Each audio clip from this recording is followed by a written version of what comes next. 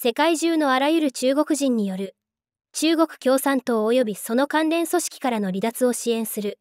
全世界脱党支援センターと著名なテレビプロデューサーの李軍氏が共同制作したドキュメンタリー。4億人の覚醒がこのほど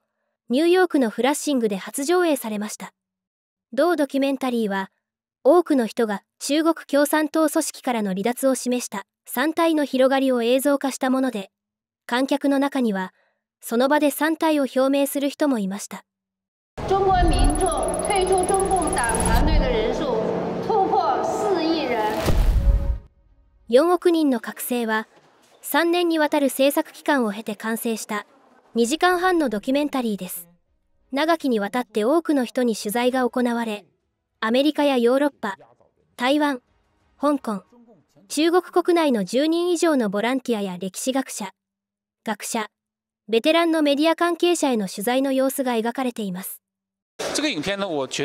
このドキュメンタリーは2つの大きな作用を果たすと思います。一つは中共の正体を人々にはっきりと認識してもらうこと。もう一つは歴史上で真に起こっている。3体を知ってもらうことです。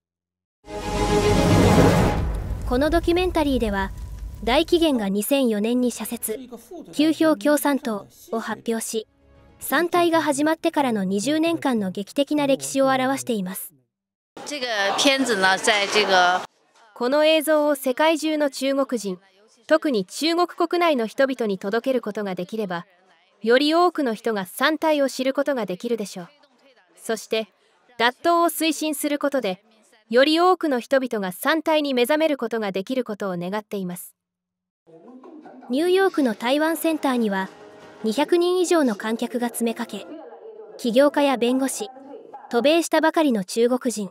3体を推進するボランティアなど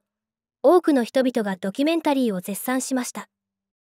観客の中には同ドキュメンタリーは中共の邪悪な本質を明るみにし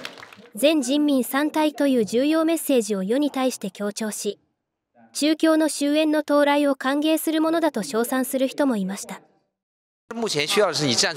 今私たちに必要なのは前に出て自分が中共と同じ側ではなく中共と共に葬られるつもりもないことを宣言することです。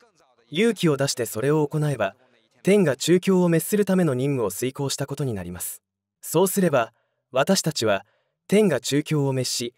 中共が解体する日をさらに早く迎えることができるでしょう。ドキュメンタリーを見終えると13人の観客がその場で手を挙げて中共から脱退する意思を示し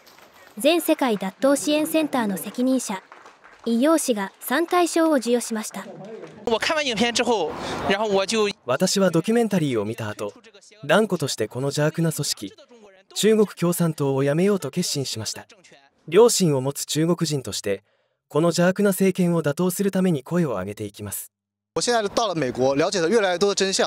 アメリカにいる今私は多くの真実を知り中共の邪悪さに気づきました。だからこそ私たちは今日ここに来て青年団小戦隊そして共産党組織から脱退しました。いつか全ての中国人が目覚めることを願っています。4億人の覚醒の制作陣はより多くの観客に届けるため同ドキュメンタリーは今後ガンジンワールドのプラットフォームのみで放映する予定だと語りました NTD ジャパンがお伝えしました Hey, I told you enough of that. But look, this is different. It's Ganjin World.